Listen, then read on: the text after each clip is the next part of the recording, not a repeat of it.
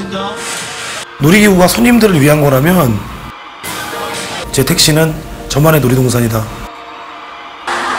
속도도 즐길 수 있고 제가 하고 싶은 대로 다 할 수 있고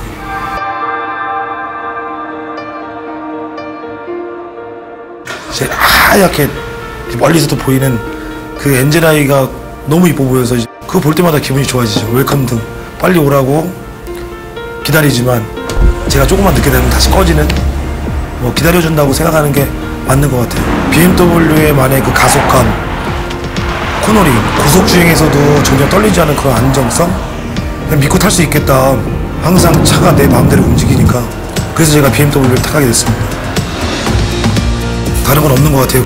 디스코 운전하고 손님들이 즐거워하고 내리는 모습, 박수 치면서 내리는 모습, 그런 모습 볼 때 되게 즐겁죠. 스릴, 짜릿함 이런 것 때문에 놀이기구를 타는 거잖아요. 저는 컨트롤하면서 즐거움을 찾아요. 인생도 비슷한 것 같아요. 컨트롤이 가능한 인생이 즐거운 거잖아요. 다른 사람한테도 달리는 즐거움을 느끼게 해주고 싶었어요. 저는 DJ 최현용입니다. 이것이 나의 BMW 스토리입니다.